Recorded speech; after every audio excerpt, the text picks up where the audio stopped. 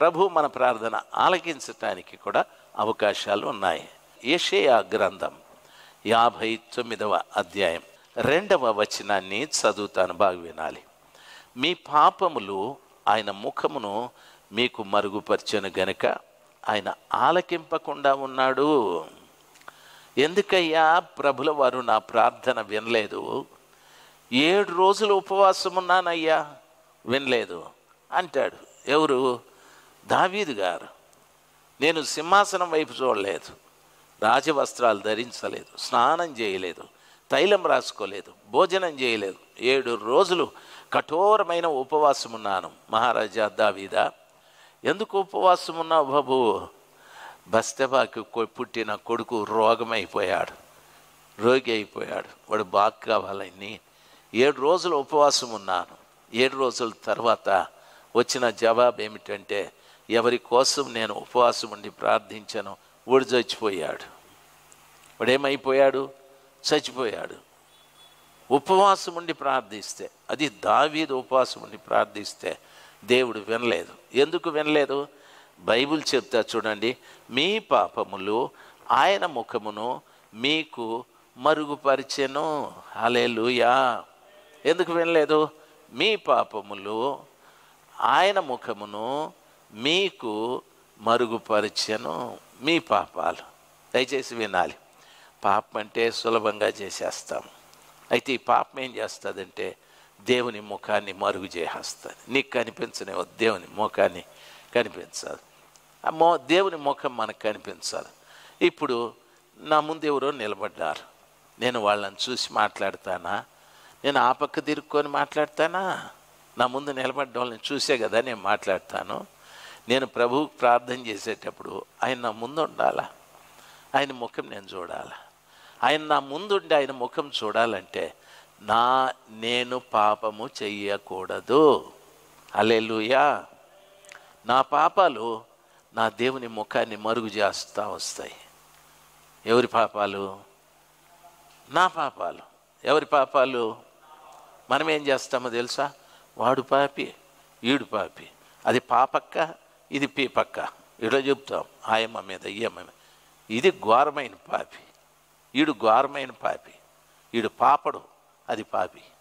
ఘోరాతి ఘోరమైన వాళ్ళు వీళ్ళ పాపాలు దేవుడు కనిపించకుండా వీళ్ళ పాపాలు మరుగైపోతాయి. దేవుని ముఖాన్ని మరుగు చేస్తాయి అంటాడు. దేవుని ముఖాన్ని మరుగు చేస్తాయని ఎందుకన్నాడు తెలుసా? ముఖంలోనే కళ్ళు ఉన్నాయి ముఖంలోనే మాట్లాడాల. ముఖంలోనే వినాలా? ముఖంలోనే ఆలోచించాలి. అన్నీ ఆడే ఉన్నాయి. అన్నీ మరుగు చేస్తే ఇంకేంది ఆయన? చూసేది ఏంది? నీతో మాట్లాడేది ఏంది? నీకు జవాబు ఇచ్చేది ఏంది? దయచేసి ఇప్పుడు నా మాట ఏమిటంటే నీ పాపాలు దేవుని దేవుని ముఖాన్ని మరుగు చేశాయి కాబట్టి ఏం పాపాలు నీలో ఉన్నాయో అన్నీ ప్రభు దగ్గర ఏడ్చి ఒప్పుకో.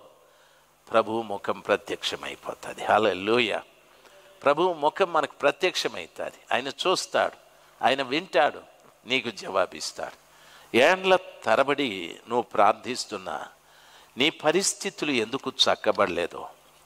ఏండ్ల తరబడి నీవు అడుగుతున్నా ఏడ్చి అడిగావు ఉపవాసం ఉండి అడిగావు కన్నీరు కాచి అడిగావు సమూహంగా చేరి అడిగావు దేవాలయానికి వెళ్ళి అడిగావు ఎక్కడెక్కడో అడిగావు.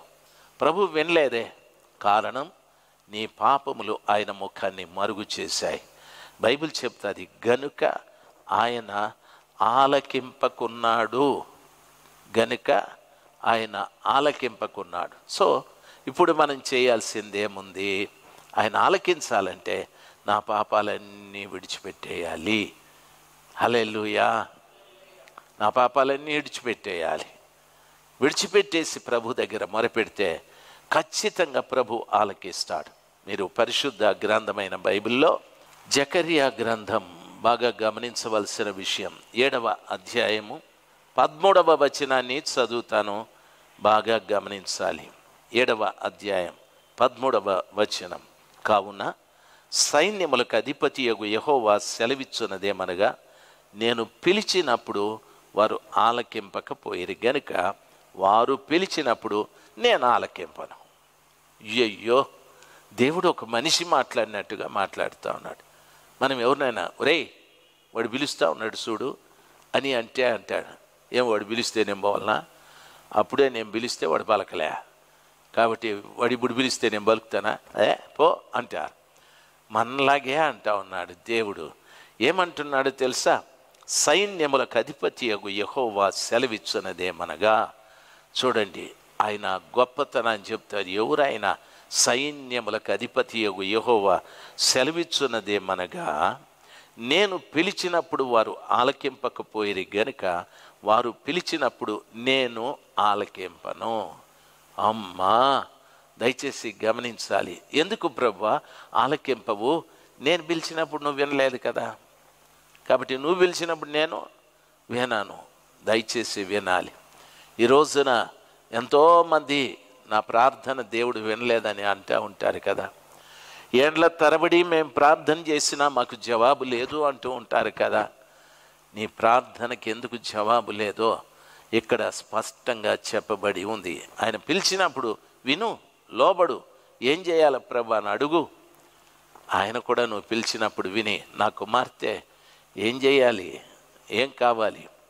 ఎరుకో పట్టణానికి ఒకసారి యేసుప్రభులు వారు వెళ్ళాడు. ఆయన చుట్టూ పెద్ద సమూహం. పోతూ ఉంది. త్రోవ ప్రక్కన ఒక గుడ్డివాడు ఉన్నాడు ఆయన భిక్ష భిక్ష భిక్షాటన చేసేవాడు. ఆయన లేచి అంటాడు దావీదు కుమారుడా నజరేయుడవగు యేస్సు నన్ను కరుణించు నన్ను కరుణించమని. ఆయనతో పాటు వెళ్ళేవాళ్ళు అన్నారు రేయ్ పెద్ద పెద్దోళ్ళు మాకే కుదరడం లేదు. గుడ్డోడివి పక్కకు జరుగు. పోయి అక్కడ భిక్షం అడుక్కోపో. ఆయన పిలిస్తే వచ్చేస్తాడా అని అన్నాడు. వాడు మానలేదు. దావీదు కుమారుడా నజరేయుడు యేసు నన్ను కరుణించు అని పిలిచాడు. బైబిల్ అంటది యేసు నిలిచి వాణ్ణి పిలిచి నేను నీకేం చేయాలి అని అడిగాడు. గుడ్డోడు పిలిస్తే ప్రభు విన్నాడు కదా. గుడ్డోడు పిలిస్తే ప్రభువు నిలిచి నేను నీకేం చేయాలని అడిగాడు కదా. కారణం ఏమిటంటే వాడికి గుడ్డితనం ఉంది కానీ వానిలో పాపం లేదు. వానికి గుడ్డితనం ఉంది వానిలో పాపం లేదు. పాపం లేకుండా నువ్వు ఎటువంటి అంగవిహీనుడవైనా ప్రభు నీ ప్రార్థన ఆలకిస్తాడు. నువ్వు చక్కటి అందాన్ని కలిగి చక్కటి అవయవాలు కలిగి చక్కటి శరీర దౌష్ట్యమును కలిగి నువ్వు ఆహా ఓహో అనుకుంటూ పోయి పాపం చేసి ప్రభు అంటే ఆయన అంటాడు నువ్వు నా మాట ఆలకించలేదు నేను నీ మాట ఆలకించను అంటాడు దేవుని మాట వినండి ఆయన మీ మాట వింటాడు. ఆయన వైపు తిరగండి ఆయన మీ వైపు తిరుగుతాడు. ఎప్పుడు ఆ కార్యం చేస్తామో మన పాపములన్నీ ఎప్పుడు విడిచిపెడతామో అప్పుడు ఆయన ముఖమును కప్పి ఉన్న నా పాపాలన్నీ ప్రక్కకెళ్ళిపోతాయి. ఆయన ముఖదర్శనం చేసుకునే భాగ్యం దేవుడు మనకిస్తాడు. ఆయన ముఖదర్శనం చేసుకునే భాగ్యం ఇస్తాడు. ఆ సర్వశక్తిమంతుడైన దేవుడు ఒక్కసారి మనల్ని చూస్తే మన సమస్త కష్టాలు నష్టాలు అవమానాలు నిందలు అన్నీ కూడా పటాపంచలై ఒక పరిపూర్ణమైన విడుదల కలిగిన వ్యక్తిగా మనము ఉండటానికి దేవుడు సాయం చేస్తాడు. పాపాలు ఒప్పుకో పాపాలు ఒప్పుకొని విడిచిపెట్టు. గర్వమా? లోబడినతనమా? అవిధేయత? దొంగతనమా? కోపమా అసూయ థూ ఇవన్నీ కూడా అన్నీ వదిలేయాలి. అంతేగాని ఓసారి ఒక ఆయన అంటాడు నా కొడుకు కోసం ప్రార్థన చేయాలి సార్ అని. ఓకే అదేం మహద్భాగ్యమా? రా తీసుకురావండి నేనని. వాళ్ళ కొడుకుని తీసుకొచ్చినాడు. వాడు కుదురుగా నిలబడ్డంలే. వాడు ఇట్లా అంటాడు ఇట్లా అంటాడు. అప్పుడప్పుడు ఇట్లా ఇట్లా అంటాడు. నేను అన్నాను వీడికేమైనా జబ్బా? అబేబే లేదని. మరి ఈ చేయిలు కుదురుగానే ఉండలేదు. ఇట్లా అంటాయి ఇట్లా అంటాయి ఇట్లా ఇట్లా అంటాయి అది వాడు ఆ వెంట్రుకలను అట్లా సరి చేసుకుంటా ఉంటాడు. సరి చేసుకోవాల్సింది వెంట్రుకలు కాదయ్యా. వాని జీవితాన్ని సరి చేసుకోవాలి. ఇవి సరిపడకపోతే గుండు కొడితే పోతుంది నాశనమై. సరి చేయబడాల్సింది వాడు. అని ఆయన అంటాడు నువ్వు చెప్పిన మాట నిజమే సార్. ఇనికేం బలహీనతలు లేవు. ఆడపిల్లలతో తిరుగుతూ ఉంటాడు సార్. అబ్బా! ఈయనకేం బలహీనత లేవు. ఆడపిల్లలతో తిరుగుతాడంట. నేనన్నా నువ్వు తండ్రేనా నువ్వునని. ఏమయ్య గారు? ఏం బలహీనత లేదు ఆడపిల్లలతో తిరుగుతాడంటే అంటే వయసు అట్లాంటిది కదా అయ్యగారు అంటే లేయి పైకి. లేయి పైకి లేయి. వాని వయసు నీ వయసు రెండు ఖాళీ నాశనమై. పో బయట పో. బయట ప్రార్థన ప్రార్థన లేదేం లేదు. పోరా బయట వెళ్ళిపోమని. కొడుకుని సమర్థిస్తాడు ఆ తండ్రి? ఏమీ బలహీనత లేవు ఆడపిల్లలతో తిరుగుతాడంట. అది బలహీనత కాదా? దయచేసి గమనించాలి చాలామంది తండ్రులు ఉంటారు. ఇట్లాంటి ప్రోత్సహించే తండ్రులు చాలామంది ప్రోత్సహించే తల్లులు ఉంటారు.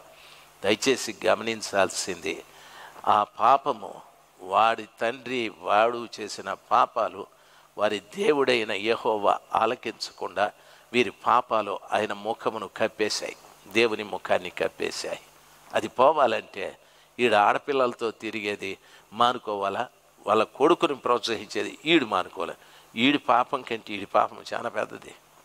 అవునంటారా? కాదంటారా? పెద్దది. ఇద్దరు పాపలే. పోండి. కుదరదు పోండి. దయచేసి గమనించాల్సింది. ఈ రోజున దేవుడు నా మొర ఎందుకు ఆలకించడని చెప్పే ప్రతి బిడ్డకు నా మాటలు దేవుని మాటలు. అయితే ఒక ఆఖరి మాట చెప్తాను. ఈ రోజున నీ పాపాలు ఏమిటో ప్రభు దగ్గర ఒప్పుకొని విడిచిపెడితే నీ పాపాలన్నీ ఆయన ముఖాన్ని మరుగు చేశాయి. ప్రతి పాపమును విడిచిపెడితే నువ్వు ఇక్కడ విడిచిపెట్టిన ప్రతి పాపం ఆయన ముఖాన్ని కనిపించేటట్టు చేస్తాయి. నువ్వు విడిచిపెట్టిన ప్రతి పాపమును బట్టి ఆయన ముఖం కనిపించేటట్టు చేస్తాయి. నువ్వు పిలిస్తే ఆయన ఆలకిస్తాడు. నువ్వు అడిగితే ఆయన జవాబిస్తాడు. నువ్వు మొరపెడితే ఆయన ఆలకించి నీకు ప్రత్యుత్తరం ఇస్తాడు ఈ కార్యాన్ని చేయగలవా? ఈ కార్యాన్ని చేయి ఇది చేయకుండా ఎంత నువ్వు ఏడ్చినా ప్రయోజనం లేదు ఎంత నువ్వు బాధపడినా ప్రయోజనం లేదు ఎంత కురింగిపోయినా ప్రయోజనం లేదు ఎన్ని ఉపవాసాలున్న సావు వార్తలే కానీ సంతోషమైన వార్తలు ఉండవు సంతోషమైన వార్త నీ పాపం విడిచిపెట్టినప్పుడే